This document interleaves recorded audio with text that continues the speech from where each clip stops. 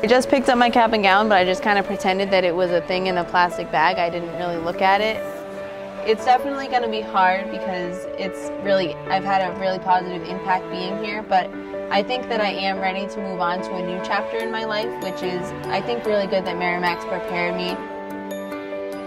It feels surreal to graduate from college. Um, I really can't even believe it's already been four years, but I guess that really speaks to how great these four years have been for me. Everybody says it coming out of high school, these are the fastest four years of your life, but I'll tell you, college is that much faster. Make every moment count and really leave without any regrets. It feels crazy. I feel like I blinked and, you know, everyone says that it goes by so fast, but I think, you know, as you're actually living it, you realize how fast it is going by. Um, it's really sad, you know, I feel like I've grown to love Merrimack and get to know all these, um, like the faculty and staff so well, so it's kind of crazy to see it go by so fast. The biggest advice that I'd give to upcoming freshmen would be to not be afraid to reinvent yourself or get involved on campus. You really should do the things that you thought you never would. There are just so many things to try, and I really recommend trying anything, even if it's scary. It's such a great way to make friends and expand your time here at Merrimack. If I could send one message to my parents, um, I'm getting emotional because they,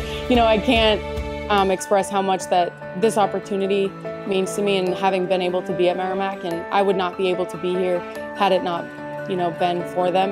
It helped me get to this point in my life, become the person that I am today, and without them, I really don't know where I'd be.